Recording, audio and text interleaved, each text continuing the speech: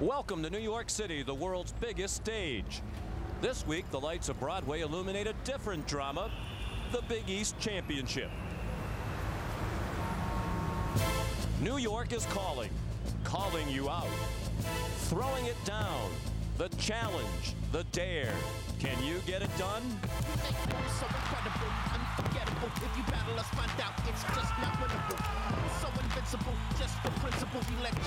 You seem unconvincible. Step up, cause we're ready to step on anybody in our way, and our game is Teflon. From out of the pack, under the pressure this city can apply, who will fly? Who will fall? Who steps up to answer the call?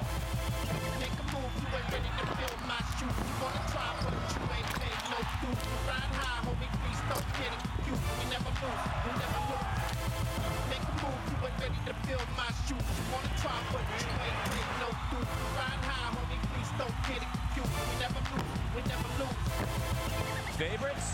Forget it. From this point forward, on this floor, you don't step up, you're out the door.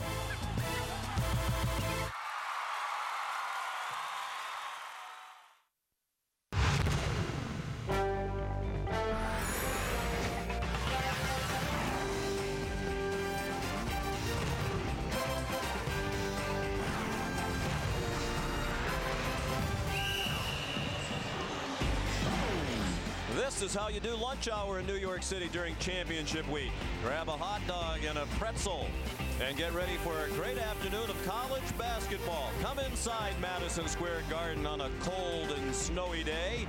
Get ready for four days of elite competition. It's the Big East Championship, a part of Championship Week, presented by Dick's.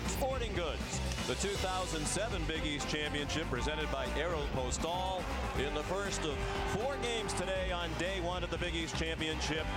The number eight seed DePaul taking on the ninth seeded Villanova Wildcats. Later this afternoon, the 5